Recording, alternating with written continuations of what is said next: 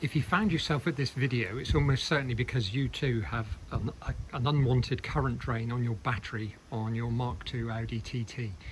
So this has been an ongoing issue for this car for quite some time now.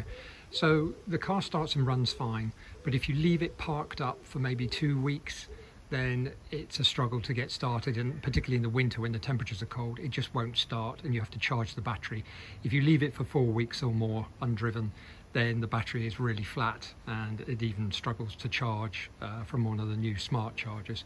So I thought I would finally get round to having a look at the problem. So I'll, I'll share with you what I found today because the journey is interesting even if the problem that you're experiencing, if the root cause is different to mine.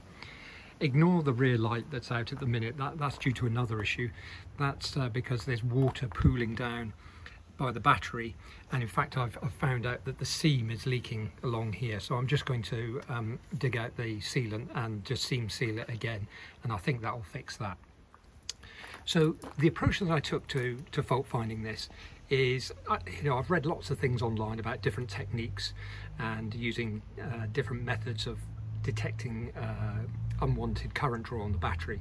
But what I did is I, I didn't really want the battery in circuit um, so what I did is I disconnected the ground connection, left the positive connected, and I actually had a bench power supply. So this is a, a 13.8 volt supply or a 12 volt supply capable of 10 to 14 amps.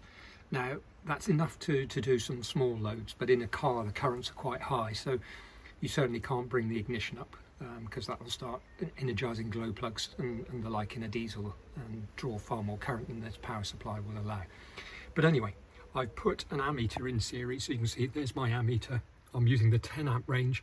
If you use the, the low current range, you'll almost certainly blow the fuse. So use the 10 amp range, uh, but be aware you can't start pulling lots of current through it. You're going to start damaging either bits in the meter or the meter leads. So that's in series with my power supply, and I've connected the positive connection to the battery terminal and of course it goes to this block here and if you open up the lid in this you'll see there's the high current fuses. Just like this diagram shows it's got the high current fuses to the different locations. So this goes off to the fuse box by the driver's side. This goes off to the luggage compartment fuse uh, panel which by the way is in behind here. You have to pull this off. So you need to undo the two Torx screws behind that. That comes away. And then you, you've got some sprung clips you need to just pull this out and then you, the fuses are just be behind here if you need to access that. And then uh, I also used a clamp meter so this is one of these fantastic little Uni-T meters. This one actually measures DC current which a lot of them don't. A lot of them only measure AC current. So this is a very useful tool and of course you can clip it around individual wires or put it around the uh, the main earth or things like that um, you have to zero it for a DC measurement and it does drift, so be aware of that. But you'll find there's quite close correlation with a proper ammeter. So I'm at the end of the journey now. I found the fault, which I shall explain in a minute. And you can see this is the quiescent current draw from a 12 volt source. So it's about four milliamps, five milliamps. Occasionally it goes up to six. So that's with uh, all the doors closed and I've pushed the, the latch up here. So this is latched up. I've just put a screwdriver in and clicked it up. So it thinks the boot's closed. If you don't do that, you're going to start bringing the light on and it'll pull current. I have got the bonnet open, interestingly. I didn't um, latch that shut because that's actually got a, a switch on the back as well. So down inside here, there's a switch, you can see the wire.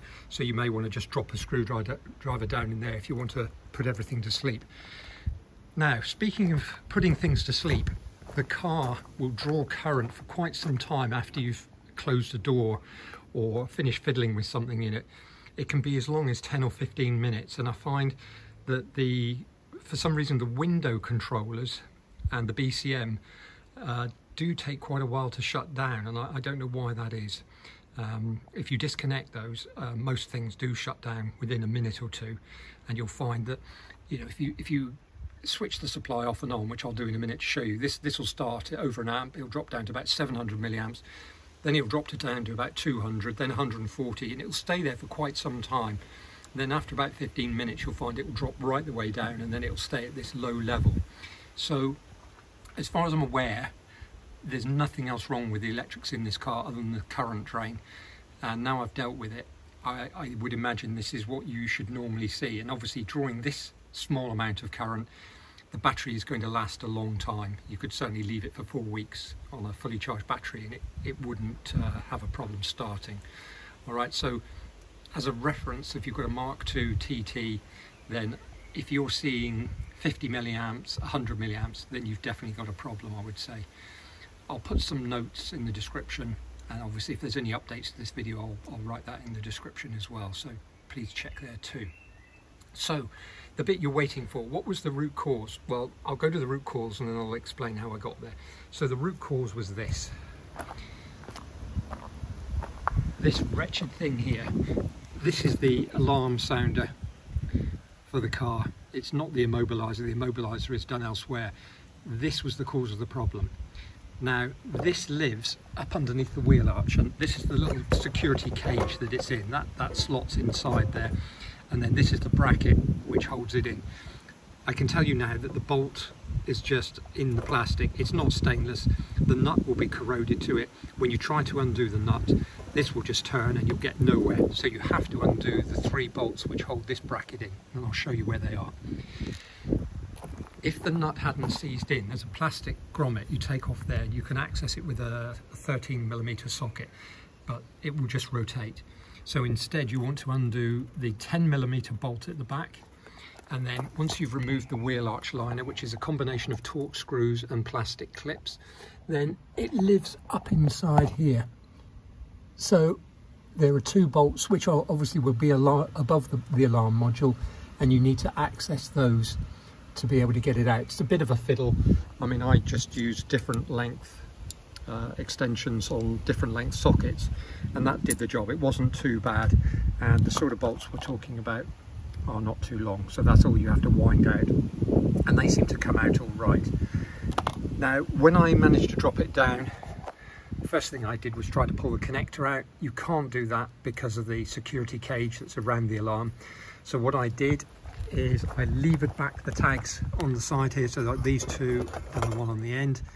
That allowed me to bend that away and with that bent away I was able to to get enough clearance by by pushing this apart here because the connector's hooked in behind there that I can pull the connector out. And that's what allowed me to then do the test with the ammeter to see that I had in fact fixed the problem. Looking online this is a common failing part uh, because it's up in behind the wheel arch it seems to get drenched in water. So unless it's fully sealed I guess some water gets in. I think there might also be a rechargeable battery is that if that's in here. Maybe that goes faulty and then the charge circuit goes goes faulty. I don't know. Anyway I shan't be bothering to refit this. It just seems pointless on a car of this age. I mean it's got the immobilizer built in having an alarm which doesn't work. Seems absolutely pointless so going back to the process that I used. So what I did is I took this cover off and then I isolated all the different feeds that come off the supply bar underneath. Then I connected my, my ammeter and then one by one I reconnected them and then monitored the current.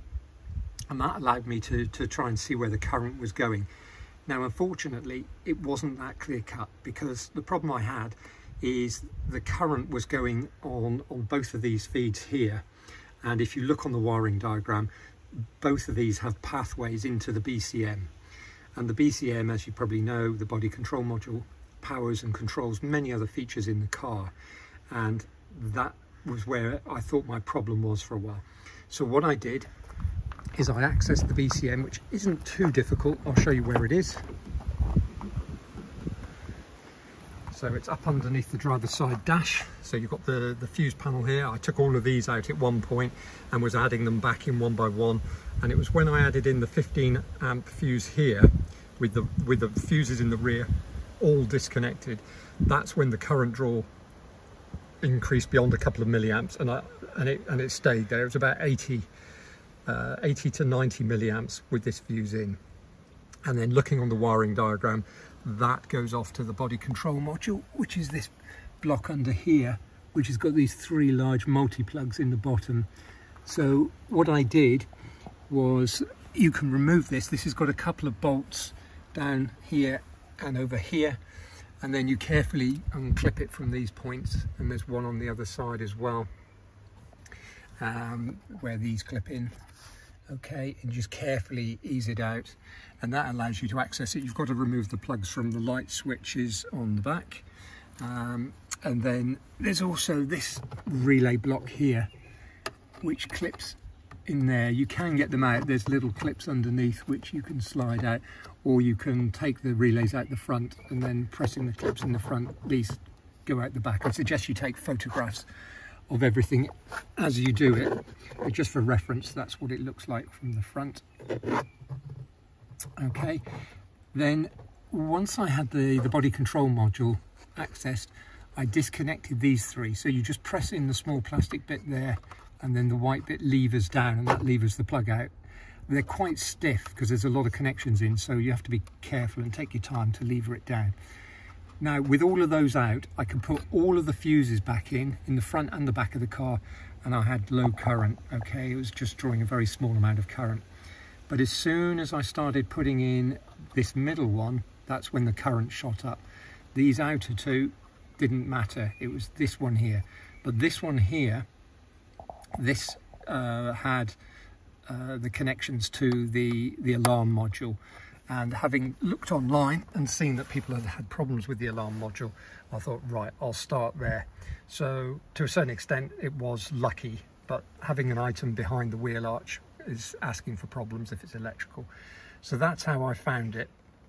I'll put some more notes in the description about the various currents I had when I had various things connected and disconnected because if you've got a different current draw that might help you Okay, so hopefully that will save you a load of bother. If you've got a, a, battery drain, I would I would suspect the alarm module and, and get it out and disconnect it and see if your problem goes away. So I hope that helps you.